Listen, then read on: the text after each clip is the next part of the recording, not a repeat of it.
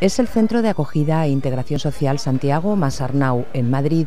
Cada día presta atención personalizada a más de 1.800 personas, reparte una media de 220 comidas al día y 5.000 cenas y presta servicios médicos y de formación.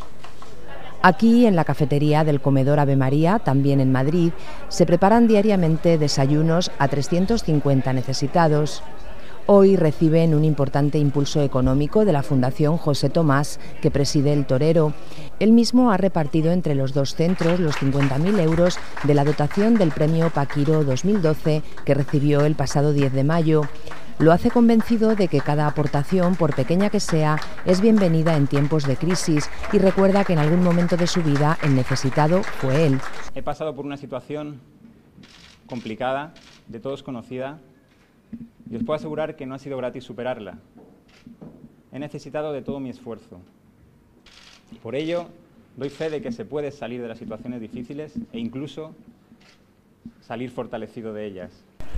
En los últimos dos años estos centros han triplicado el número de atenciones diarias y han visto cómo el perfil de las personas que acuden en busca de ayuda también se ha ampliado.